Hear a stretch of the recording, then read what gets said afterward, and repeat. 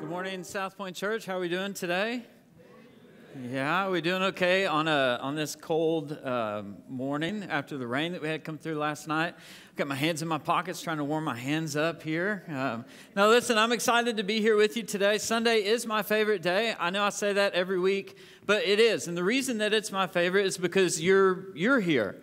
Uh, I mean, this is kind of if the pastor doesn't love Sunday, then the church probably has a problem. And fortunately, I, I, love Sunday and I love our time together. And we've been in this series called Did God Really Say? And this whole series has kind of been challenging some core questions that we ask, like, Who am I? Who is God? And we've been looking at what did God actually say about those things? Or what is it that God said to us? Or what, what should we believe about those things? And, and so we've been trying to get to some of the, the core identities that we wrap ourselves in and that we wrap God in. And today we're going to tackle one that um, I'll be honest with you, it's one that I think more of us struggle with more than we would admit to. I think it's one that more of us struggle with than we know that we actually struggle with it. And for me, it's actually one that was probably the hardest to explain.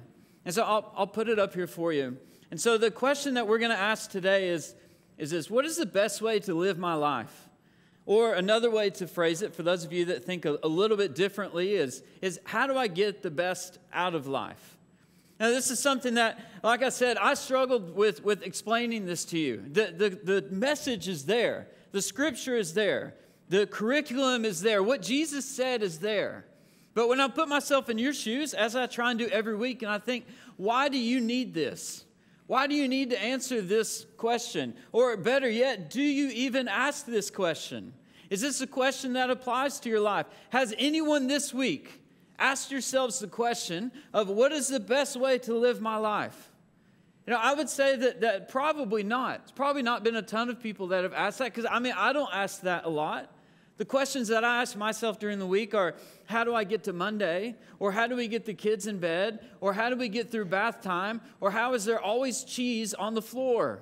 I don't understand, but it just always is there. Our family eats so much toast and cheese, and there's just always cheese and toast on the floor everywhere. Those are the things that I ask during the week. Or how do I get the best out of life? When's the last time that you asked that question? How do I get the most out of this? Now, this is something that we do. We do this when we think about family planning. We do this when we think about when to get married or how to have kids or uh, parents in the room. If you're trying to figure out where to send your kids to school, especially if you live here in the southern suburbs, it's incredibly competitive and hard to get your kids into a school. And you're thinking, what high school do I send them to or what preschool do I send them to? And you feel like you've got to make that decision the moment that they're born because you've got to go from the hospital to the school and fill out the application right then and there. Yes, it's true. So that's you asking, what's the best way to live life or how do I get the best out of life? You're trying to figure that out. I mean, we're trying to figure that out.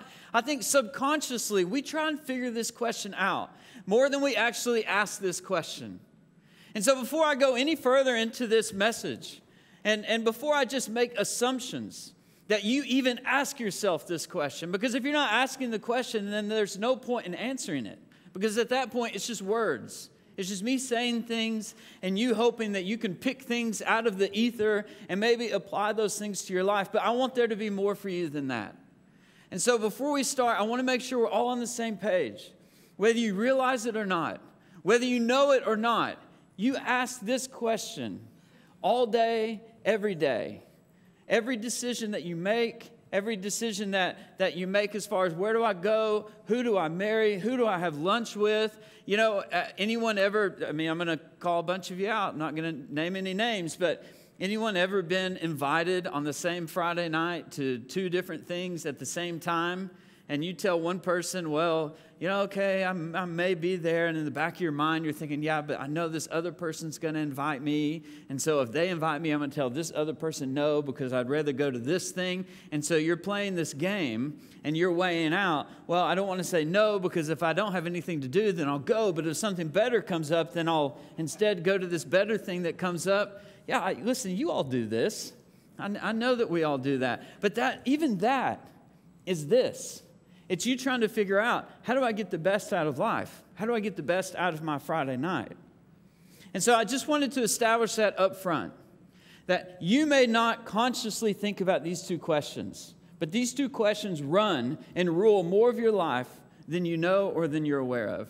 And so, in answering these two questions, there's two big motivators that direct us on how, how we try and, and find the best way to live our life or how we try and get the most out of life. And the two things that kind of compete with each other, and these are difficult to distinguish between the two because they look kind of the same and they feel the same, and then everything in them is very, very, very similar. But there's a couple things that make them very, very different. And these are things that kind of motivate us and guide us as we try and figure out how to make decisions or how to get the most out of our life. And those two things, it, it's, it's good versus attractive.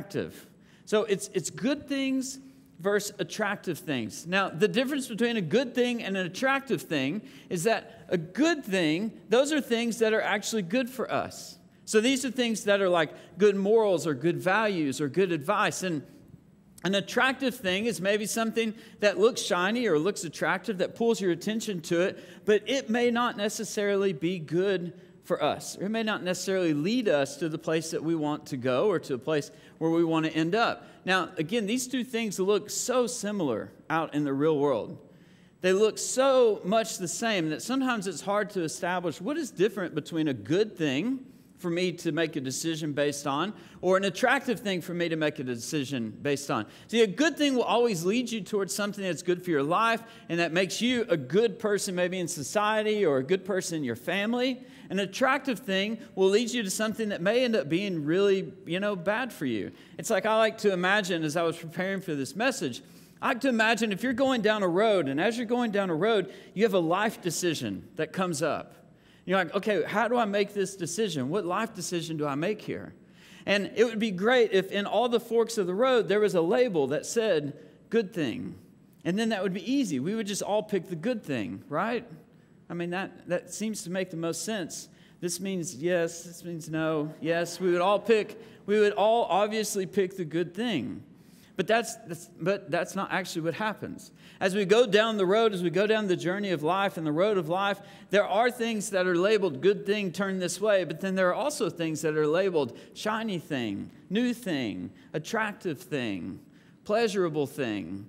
And then we, we weigh those things out and we say, okay, well, here's the good way to go. Yes, I could make a good decision for my life. I could save money and I could put it into a retirement account, or I could, I could pay off debt, or I could do healthy financial things, or this super attractive thing like this new car or this phone or watch or whatever it is, that's really, that's really attractive. I think I'm gonna go towards the attractive thing. Or you may be walking throughout a, a rough spot in your marriage.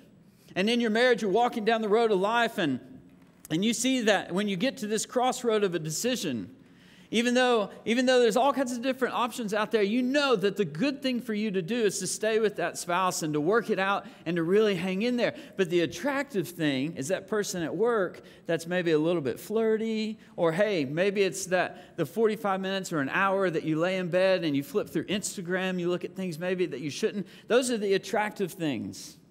And we want to say that we would always pick the good thing. Yeah, of course, I would pick the thing that is good for my life, duh, but we don't. We, more times than not, we pick the attractive things, the things that pull our attention away, the things that are shiny, the things that say, hey, hey, this will this will give you uh, instant gratification. This, th- this will make you happy. This will make you full. This will make you complete. And so in our lives, we're, we're constantly weighing these two things up. Is it good or is it attractive? And once we categorize that, then we get to say, do I pick good or do I pick attractive? And most of the time, we end up picking attractive.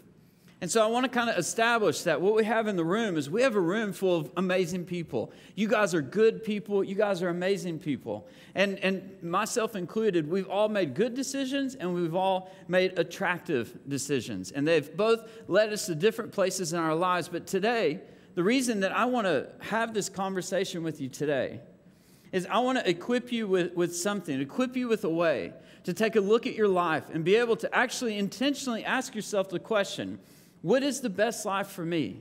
And what is the way that I can get the most out of that life?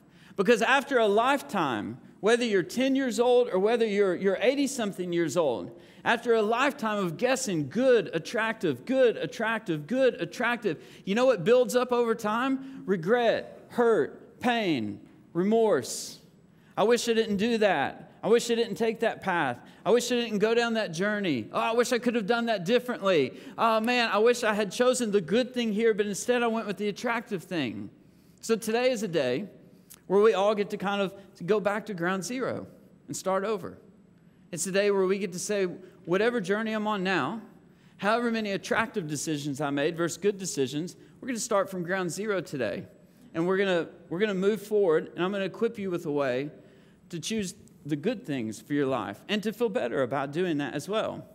So, the way we're going to do that, it's obvious because we're in church, is Jesus will actually tell you exactly the best way to live your best life. So, we are going to look at, at what Jesus says about this. So, it's, it's Jesus that is going to tell us exactly how to live our best life. It's Jesus that's going to paint the picture for us and tell us how to do that. And we're going to look at, you know, it's, it's such an amazing thing to see that Jesus was actually this really smart teacher. He was this amazing rabbi. And everything that he said and everything that he did, he did with like a, with an incredible amount of purpose. And he didn't say things just by happenstance or, or anything. He said things for a reason. He said things with an actual purpose. In fact, when it's important for us today because we're going to look at two of Jesus' sermons. And these are short, so don't feel like this is going to be a super long message. Jesus' sermons were like six verses long. And I know some of you wish that mine were, were that long as well, but too bad. I'm up here, you're out. No, I'm kidding. So G- Jesus has these two sermons that we're going to look at. And it's in these two sermons that we're going to kind of figure out and learn uh, the way that we can live our, our best life. And so if we look at the first sermon, we can actually, Josh, there's a slide that I want you guys to see here, and it's about how Jesus' sermons point towards the kingdom of God. So it's Jesus' sermons where his declaration, it's important that we get this because we need to understand the motivation behind why Jesus said what he said. He didn't say it because he was Jesus and he knew that one day the Bible would be written about him. No, he said it because it means something for us. And so Jesus' sermons, because we're going to look at two of them, were his declaration of the kingdom and the way one should choose to live. So essentially, Jesus is saying, This is the way that you should choose to live. If you choose my kingdom, this is how to live your life. And so we can look at the first sermon that Jesus preaches, and, and this we find in the book of Luke. And in this first sermon, we're just going to touch on it quickly, but Jesus shows up, and, and to give you a little context, Jesus shows up to a temple because he's known as a teacher, as a rabbi. And so he comes into the temple, and this kind of story unfolds. And, and I want you to think about this literally. I want you to think about this like, like it's watching a movie, okay? I, I want to, I'm hoping that I've not overthought it and built into some emotion into it that isn't there. I hope that you guys can kind of get it. So I'm going to guide you through this situation, and I kind of hope you feel the awkwardness of the situation that's here. I hope that that you kind of feel um, the tension that's in the room with Jesus and the people that he delivers this sermon to. So let, us look at the, at the message here. So in Luke 4 16 through 21, Jesus, he goes to Nazareth where he's been brought up, and on the Sabbath day, so that's the day of worship, he went into the synagogue as was his custom. So Jesus was a Jew, so he goes into the Jewish temple. That's why he did that. And so he stood up to read because he was a rabbi, a teacher. This was not an abnormal thing. And the scroll of the prophet Isaiah was handed to him. So here's Jesus, enters the temple. He, uh, he, he takes a place where he can teach. And the scroll of Isaiah, so in your book or on your app, it would be Isaiah. That, that as, a, as a scroll, as a written scroll, is handed to Jesus. And so Jesus is getting ready to open that up, and that is going to be his first sermon to the people. So imagine that, that setting. I don't know why, but I always think about it being dusty and there being everything made out of stone and lots of neat right angles. That may just be me, but Jesus is there and he's about to Yeah, So let's go to the next verse. And so, unrolling it, Jesus unrolling this thing, he found the place where it is written, so he knew what he wanted to say. He's searching through, searching through. Jesus didn't have Google or the Bible app. He couldn't just type it in. I wonder how long it took Jesus to, to kind of filter through this rolled out, you know, script. Maybe it was just a second, maybe it was a few minutes. But he finds where he wants to go. And in verse 18, Jesus says, The Spirit of the Lord is on me because he has anointed me to proclaim good news to the poor. He has sent me to proclaim freedom for the prisoners and recovery of sight for the blind, to set the oppressed free. And so Jesus has made these huge claims. He's saying, hey, Jesus, uh, Jesus is saying, I have been sent to do these things. I've been sent to proclaim good news to the poor, to proclaim freedom for the prisoners, recovery for the blind, set the oppressed person free. It's like a big statement. This is a huge statement. This isn't the day and age of Facebook and Twitter where you can say anything and nobody pays any attention to it because there's so much noise. This is something where when Jesus says this out loud, this is a huge, huge ordeal. And so let, us go to the next verse. Next verse in verse 19 says, Jesus continues, and he says, He was also sent to proclaim the year of the Lord's favor. Then Jesus rolls up the scroll. He gives it back to the attendant, and this is maybe where I've overthought this thing a little bit, and but he gives it back to the attendant, and then he sat down. So imagine Jesus makes this amazing statement. Don't overthink this but maybe think about it a little bit. He gives this amazing statement, this, this kind of rule breaking, groundbreaking statement. He sits down, and the eyes of everyone in the synagogue are just fastened on him. I like to imagine Jesus sitting maybe in a chair with his legs crossed, just kind of casually like hanging out. You know, if he were with us, he'd, you know, maybe sip on a cup of tea or on a cup of coffee, and everyone's just staring at him. They're just staring. And it's almost like I like to imagine Jesus saying, Oh, oh, you, oh, you didn't get it. Oh, I see. So you're, you're staring at me because you haven't figured it out yet. Okay, well, just to put two and two together for you, he goes on and he says, uh, Today the scripture is fulfilled in your hearing. So basically saying, ah, okay, I know you're staring at me because I said some amazing things, uh, but all those things that I just said, because you heard it today, I'm, I'm that person. And that's the end of his sermon. He gets up and he walks out. So, just in that first sermon, what Jesus has done is Jesus, he's announced his, his qualification. He's announced his intent to the people and he's announced his purpose to people. Jesus is, is, is announcing this is my qualification, my intent, and my purpose because he wants people to know this is why I came. I came because God sent me. I came to fulfill these things. My purpose is to do these other things. And so it's important for us right off the bat to know that in Jesus' first sermon, he doesn't beat around the bush. He pretty much just flat out tells us this is exactly why I'm here and what I'm here to do. And so now we're going to fast forward in Jesus' ministry and go to his second sermon. And in this second sermon, to give you a little bit of context around this, Jesus has gone out after he's done the, the first sermon.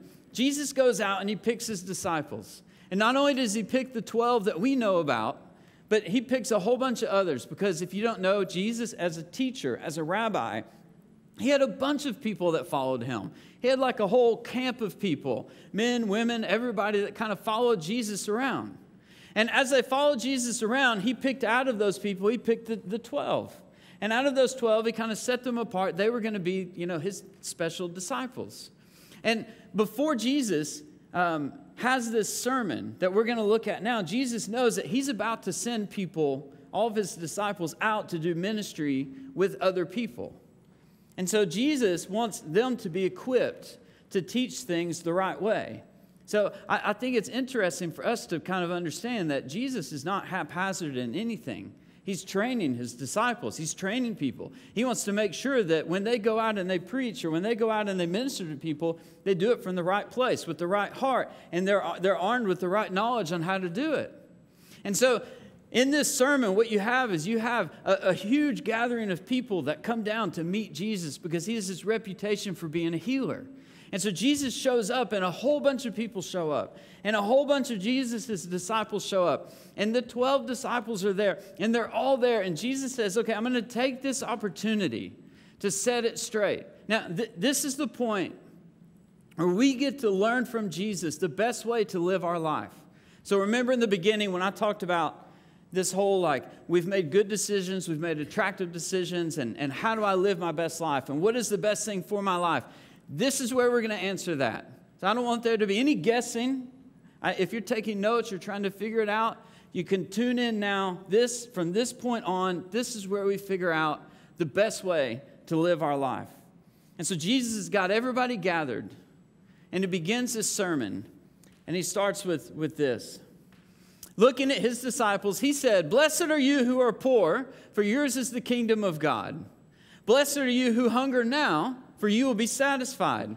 Blessed are you who weep now, for you will laugh. And then he goes on in the next verse Blessed are you when people hate you, when they exclude you and insult you and reject your name as evil because of the Son of Man. Rejoice in that day. That's the day that everyone hates you. Leap for joy because great is your reward in heaven. This is sounding amazing. This is an absolutely incredible sermon. And then the next verse, Jesus really hammers it home and he says, But woe to you who are rich, for you have already received your comfort. Woe to you who are well fed now, for you will go hungry. Woe to you who laugh now, for you will mourn and weep. Everyone in here that laughed, you're going to mourn and weep. ah, you're getting a double portion. Woe to you when everyone speaks well of you. This is, this is the first sermon. It sounds kind of crazy. Let, let me sum up Jesus' talking points for you. So, according to Jesus, you've got good is poor, hungry, weeping, and hated. And you've got bad is rich, well fed, happy, and liked. Now, this raises a few questions for me, and it should raise a few questions for you. So, for example, question number one If I follow Jesus, do I have to be poor, hungry, weeping, and hated? Okay, it's a valid question. Question number two If I am poor, hungry, weeping, and hated, does that mean that I'm following Jesus the right way? And as I thought about this, I thought, man, th- th- I mean, this is a hard thing to, to sell. It's a hard thing to explain. And in fact, if it means that I have to be poor, hungry, weeping, and hated to follow Jesus, or if it means that by following Jesus, God is going to make me poor, hungry, weeping, and hated, then I'm not sure that I want to follow Jesus, or at least I'm not sure I want to follow him right now. See, you may have a car payment out there. You may have just bought a brand new car. And maybe you want to wait until that car is paid for before you follow Jesus. Because then you, it's okay to be poor, because it's okay to be poor with a paid off car. It's hard to be poor with a car that you can't afford the note on every month. Or maybe you want to wait till the house is sorted, or you want to wait until you know you've got enough food in the pantry, or whatever it is. You're like, okay, God, if this is the way it is, then I'm just going to wait. I'd rather kind of do this bad life, and I'd rather get rich and well fed and happy and liked before I follow you. Then when I follow you, then I kind of have everything in place. Now, when I first read this verse, and let's be honest, when we look at the scripture, it, it's easy to do one of two things. Either one, over spiritualize this thing and, and, and kind of say the, the scripture and the words, but not really explain it, and just blessed are the poor. Oh, that sounds so wonderful. Oh, that sounds so great. I just love what the Bible says. Or the second thing that we can do is we can look at this and say, that doesn't make any sense at all. And in fact, I don't know that I want to live this good life because look at what comes out of it. Now, I can tell you, you know, fast forward a little bit. This is the way that we that you want to go. And so if you find yourself, uh, just a special note, if, if you're rich, we want to help you go from bad to good. So we have a bank account set up here at the church for you to we are stewarding your spirituality very well. Okay? You can, yeah, no, I'm just kidding. I'm kidding. Listen, if you're offended at that, I'm sorry. So, what I want to do now is I want to, I want to explain what Jesus means here. Because when we get what Jesus meant when he said this here, it points us to a good life. It does. Take my word on it. I promise you that when we do this here, it takes you to a good life. And so we start with this Blessed are you who are poor. You know, when Jesus said the word, Josh, go ahead and throw that slide on the screen for everybody. When Jesus says this, Blessed are you who are poor. You know, when he used this word poor, the word that he meant for poor, actually it means serious or severe poverty. So, what Jesus meant by, by being poor is this is somebody that has absolutely nothing to their name. They have absolutely nothing in their life. They don't have a shirt on their back. They don't have sandals on their feet. They have no food. This is the person that's laying in the ditch on the side of the road. This is a person who has utterly nothing. This is a broken down person that is in serious and severe poverty. That's somebody on the brink of death. That's somebody on just the edge of barely even being alive. That's the poor person that he said is blessed. But you know why he said that? Because when somebody is that poor, guess what? They know that everything they receive is a gift. And everything that they receive means something incredibly special. You know, if I walk down the road and I, and I give, or if I walk out into this audience and I give somebody in here a Bar-One, it's like, great, I love candy, amazing. But if I find somebody that is serious and severe in poverty, then, then I, I could leave the wrapper of a Bar-One on the side of a road and they would pick it up and see if there's anything in it and count it as a blessing if there's something that's in it. See, what Jesus is saying here is, is, is he wants us to know that this is the blessed person because this is the person that knows that they need somebody to provide every single thing that they, that they have that they need. You cannot, as a poor person, you cannot provide anything for yourself. You can't, you can't satisfy any, any need that you have financially, clothing, food, nothing. And so when Jesus says the words, Blessed are you who are poor, he's saying, Blessed are you who realizes that you are nothing, that you have nothing, that you can obtain nothing, that you can do absolutely nothing by your own hands or by your own work or with your own way or in your own intent. You realize that you've got flat out zilch, nothing, and zero. And what happens in that moment is, is we get this, this point of contact with Jesus. See, the, the first point of contact between your soul and God is not when you realize what you have, but when, it's when you realize what you have not. See, th- this is why this leads us to a good place. Jesus isn't saying, Blessed are you who are poor because you're poor. He's saying, Blessed are you who are poor, because just like, like the beggar realizes how much he needs somebody else to provide for him, you realize how much you need Jesus or how much you need your community to provide for you. And in fact, I, I found this statement that I just love so much. The, the blessing of the poor is, is first. So when we look at this, this sermon that Jesus said, the first thing that he says in it is, Blessed are you who are poor. And it's first because without the beggar's reliance, and this beggar's reliance is this idea that if I don't have something from you, then I'm going to die. Me as a poor person, if you don't give me food, it's not that I'm going to be hungry, it's that I'm going to just expire. If you don't give me something to wear, then I'm going to freeze in the night. It's this reliance this, or this, this understanding that as a beggar, you have nothing. And when you apply that same mentality that people could understand, because when he's preaching, when Jesus is talking, there are people like this on their way to the temple, on their way to hear Jesus talk. Even out in the crowd, people have brought people to Jesus for healing because they are so poor and they're in such need. See, Jesus knew that people could identify with this. And he wanted to connect with this and say, when you get to the absolute bottom of your own reliance, when you then adopt the beggar's reliance on God's power, and, and that nothing can be done in your strength, but everything will be done in God's strength, then yes, I can confirm that blessed are you who are poor. You know, I'm so thankful in my life that I can do nothing to make this church work. I'm so thankful in my life that I can do nothing to inspire you guys to Jesus. I'm so thankful that in my life, I could do nothing for a long season to even try and keep myself alive. I'm so thankful that there is nothing in me that qualifies me or makes me good enough to be here on stage in front of you. You know why? Because I have an absolute beggar's reliance that God does something here on a Sunday morning for you. And I have an absolute beggar's reliance that God is going to hold my marriage together. He's going to hold my finances together. He's going to hold this church together. And you know what? I come down here on a Saturday night with a beggar's reliance on God to show up for you. So that when you walk through these doors on a Sunday morning, God ha- has, He does something in your life. Because it's not by what we as Southpoint can do. It's not about what Chris and Casey can do. It's not about what you can do.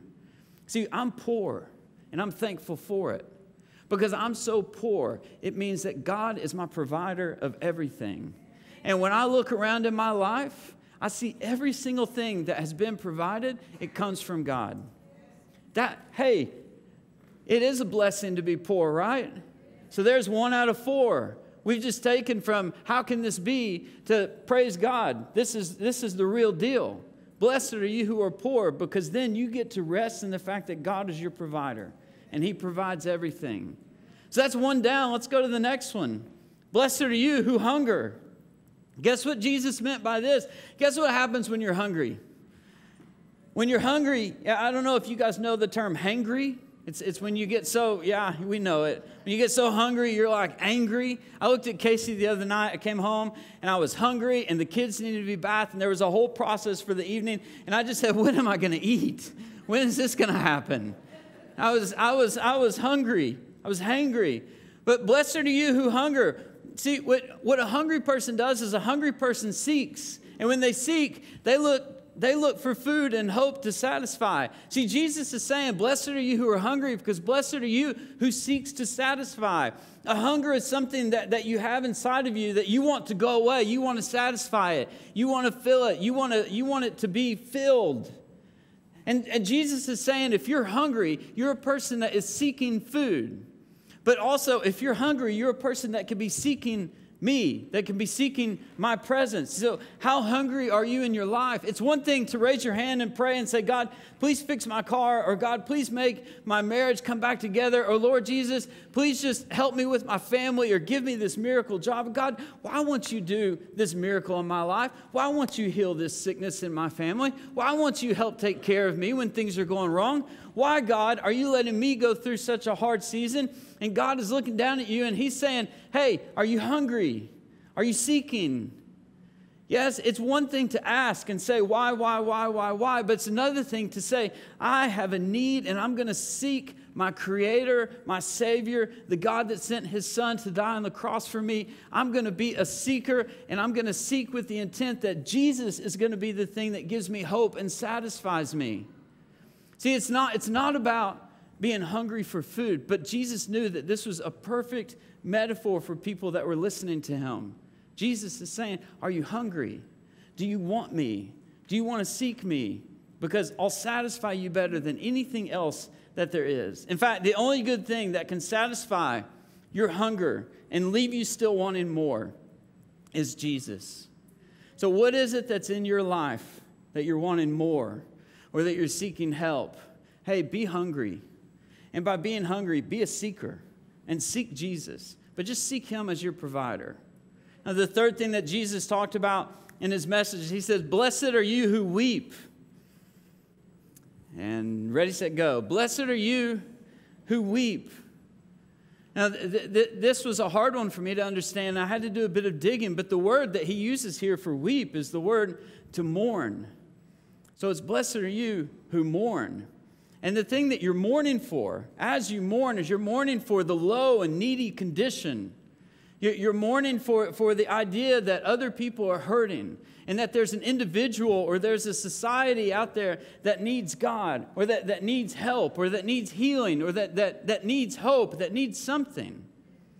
And so, this blessed are you who weep, Jesus is saying, blessed are you who mourn for others that are in need or need help. See, what this is, is Jesus is, is helping us understand where our priorities should be.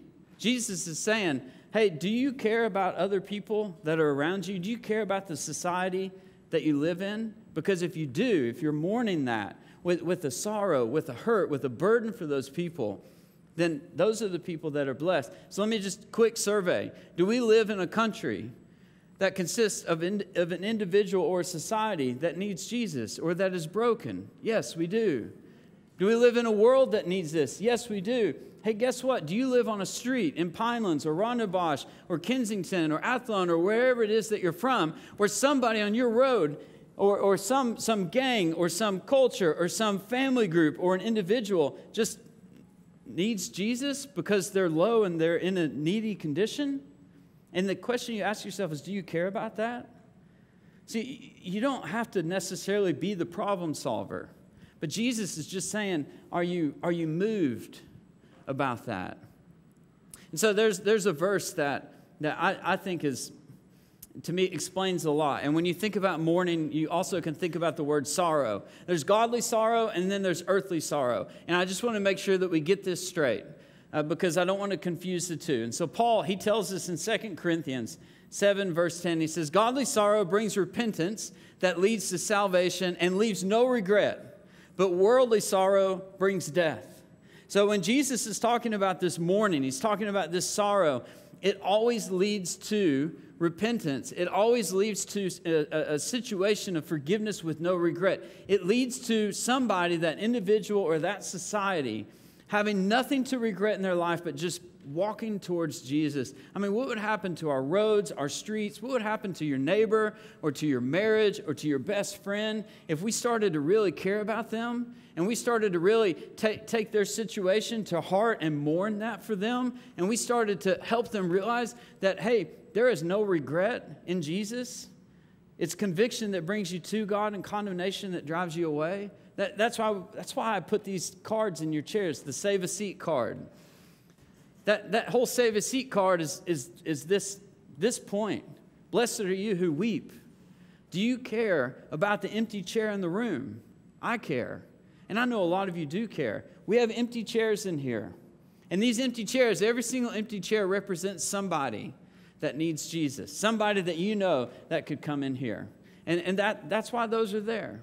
So let's go to the last one here as we wrap up. Blessed are you when people hate you. Blessed are you when people hate you. This is a fun one. This is a really fun one because we all love to be hated. We do. We all, yeah, we all absolutely love to be hated. And what Jesus is saying when he, when he says this is that it's okay to be in the world, but not made of the world. It's okay to be in the world, but not made of the world. And when Jesus is telling, Blessed are you who are hated, Jesus is saying, Blessed are you who know what your identity is. Blessed are you who've decided who it is that you're going to be. Because when you say, you know what, I am a Christ follower, I am a Jesus follower, or even just this is my identity, and I'm not going to be all things to all people to try and fit in with everybody. Instead, I'm just going to be me. I'm just going to be Chris. And I'm going to let people like me for who I am, or if people don't like me, they don't have to like me. But I don't have to be made of the world. I don't have to be like everybody else in the world because I don't need the approval of the world. And so when Jesus is saying, Blessed are you who are hated, he knows that as a Christian, you are going to deal with persecution. And he knows that as a Christian, you're going to be called out. You're going to be called a hypocrite because a whole bunch of people are going to be so excited when you fail or you do something wrong or you tell a lie. You know, they're going to be right there next to you, say, I, I thought you were a Christian. I thought you said you were a Christ follower. And Jesus is saying, Hey, I know it's going to be tough to choose this path. It's the good path, not the attractive path. And when you choose the good path, there's going to be people that come along that criticize you for it. But you know what? Because you've got your mindset right, because it doesn't matter what everyone else thinks, it only matters what I, Jesus, think, then that leads you to this incredible place of freedom. That, that, le- that means you can shake off what everybody else says. And you can shake off what everybody else thinks. And Jesus is saying, hey, well done, because you know who you are, and nothing is going to shake you or waver you from that. And so, those are the first four things in Jesus' message. He says, Blessed are you who are poor. But you know what that means? It's blessed are you who are humble. And then he says, Blessed are you. And the next one, he says, Blessed are you that are hungry. And then what he's really saying there is, Blessed are you that, that, that strives. Blessed are you that, that, that is driven. Blessed are you that, that comes for me. And when he says, Blessed are you that, that weep, what he really is saying is, Blessed are you who are, uh, a, who are compassionate. You're a compassionate, caring person. And when he says, Blessed are you who are hated, what he really is saying to us in that moment is, Blessed are you who know who you are and comfortable in your own identity in me, in Christ. And so now all of a sudden, those four things that was a hard sell at the beginning becomes a much easier sell. Turns out Jesus actually did know what was the best life. He did know what would point us on the best pattern. And so now, just to finish this up, and, and we're just going to spend a minute on the woes, because the woes were, were the hard part. And, and then, then we'll pray and, and we'll finish the service out. But woe to the rich, woe to the fool, woe to the happy, woe to the liked by all. See, a rich person doesn't need anybody else or anything else. You know, when we um, moved to Cape Town, God called us to, He said, I'm going to call you to one of the hardest places that there is to take the gospel. And we said, okay, Lord, where's that going to be? And he took me, I was up on the mountain, I was praying over the southern suburbs, and he pointed me right at Bishopscourt and said, That's it, right there, Bishopscourt. It's one of the richest areas in all of South Africa. And if you live in Bishopscourt, there's no criticism to you. I mean, you're, you know, you're here, amazing. I know there's some amazing people in Bishopscourt because we've met them, incredible Christian people that are out there. But it's also some of the some of the richest, and some of the richest people they don't need anyone else because they can supply everything that they have. So Jesus is saying, "Woe to the rich! Woe to the one that thinks they don't need anybody else, because that's a lonely life." Woe to the fool. This means that you think you already know everything that you, that you need to know. It means you don't need to seek for anything. So it's woe to the one that is falsely satisfied. When Jesus says, Woe to the happy, he's saying, Hey, I, I, I feel so bad for you because, because you're, you're, you're putting a, kind of a false joy or a false wrapper on life. Like you're trying to drown out all the stuff that actually needs us to pay attention to it. And when he says, Woe to the liked by all, what that means is he's so sorry that your identity is, is trying to be put in everything and everyone and everywhere. I mean, I don't know if anyone can identify with that, but the idea of I just can't do enough to get enough people to like me. And, and that's not a great way to live. And see, this word woe that Jesus uses, it's an expression of regret and compassion. So when we go back and we look at Jesus' sermon, and, and this is where we're going to land this plane, we're going to finish on this here is that you have this good life, or this good path to lead the good life. And then you've got all these other attractive things.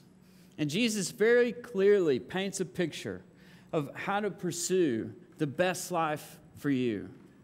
And in that best life for you, it consists of, of the best things for you.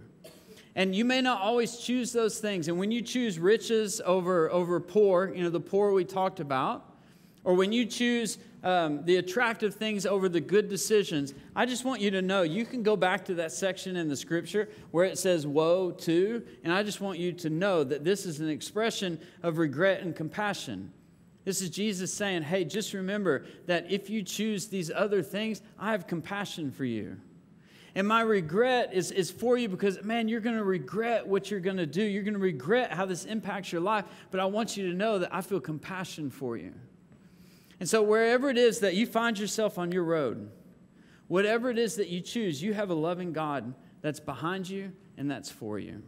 And so, I'm going to invite uh, the band to come out and lead us in a song. But before you guys stand, what I want to do with this song is I just want to give you time. Because when you go out there, life gets crazy and life just happens.